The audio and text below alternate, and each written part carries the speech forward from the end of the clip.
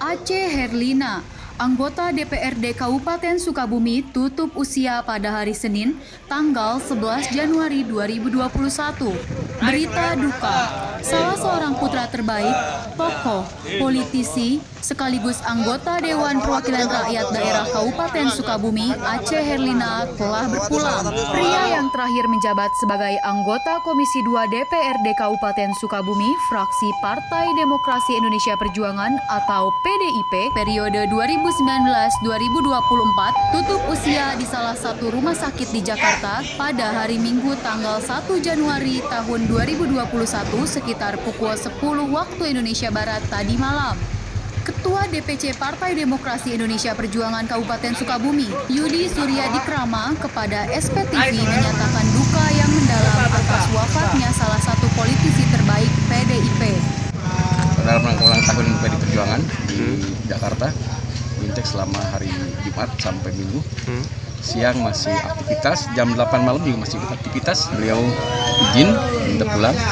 Saya bilang besok saja pulangnya karena dengan siapa? Dia bilang ada dengan supir. Ya sudah kalau memang ingin pulang dan dari siang ceria dan jam 8 pun juga tetap ceria tidak ada eh, pesan meninggalkan. Bahkan terkesan yang paling eh, mendalam dia adalah sosok yang baik sosok yang jujur dan berbakti terhadap partai. Yudi menjelaskan, almarhum meninggal dunia di Rumah Sakit Satya Negara Sunter, Jakarta usai melaksanakan Perjuangan yang digelar sejak Jumat hingga Minggu tanggal 10 Januari tahun 2021 kemarin.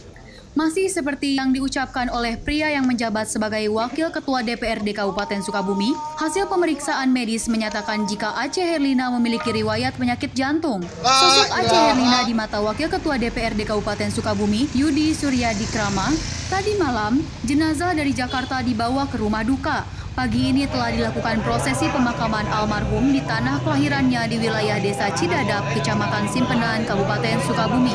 Kepada awak media, Yudi Surya Dikrama mengungkapkan kenangan detik-detik terakhir kebersamaannya dengan Aceh Herlina.